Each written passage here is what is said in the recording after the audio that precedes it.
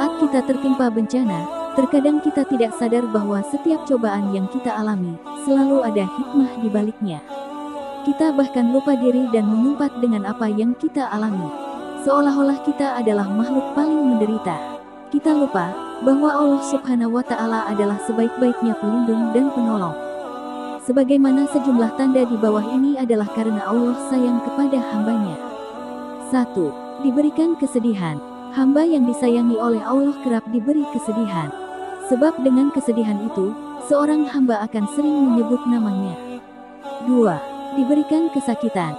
Dengan kesakitan itu kita akan senantiasa memohon kesembuhan-kesembuhan darinya.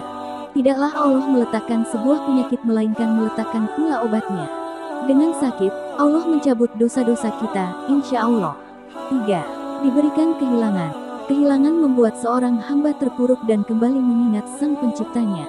Dengan kehilangan kita akan sering menyebut namanya agar kita diberi ketabahan. 4. Diberi kesusahan.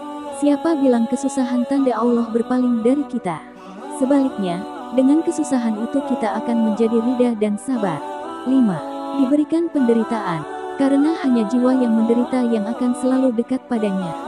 Terkadang kesenangan itulah yang membuat kita lalai mengingat Allah Subhanahu wa Ta'ala.